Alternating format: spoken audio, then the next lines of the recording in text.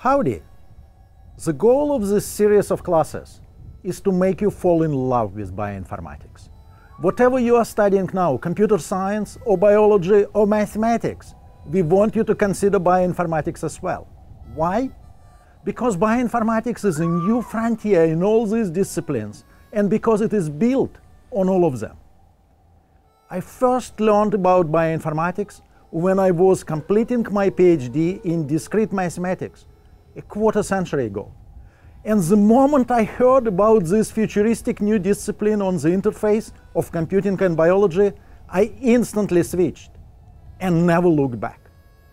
At that time, bioinformatics was an obscure discipline. But today, it is a huge field that is making a digital revolution in biology and that opened the era of personalized medicine.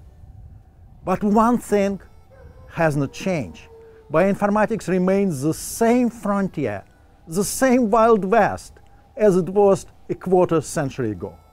And that is why we are wearing this crazy outfit. You mean apart from the fact that they look good on us? Sure. In this specialization, we're going to discuss many questions that are asked in modern biology and medicine, such as which animal gave us SARS? Or do we have a clock gene? Or how is it that we find disease causing mutations? After we ask each of these biological questions, we'll then learn about the computational approaches that are used to solve them, from clustering algorithms to evolutionary tree construction to machine learning approaches. Along the way, we're going to travel back in time to solve a 300 year old mathematical problem, wander around Manhattan as tourists.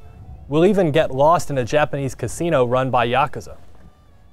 All of these adventures may sound like risky propositions, but we hope that you will join us to see what they have to do with bioinformatics.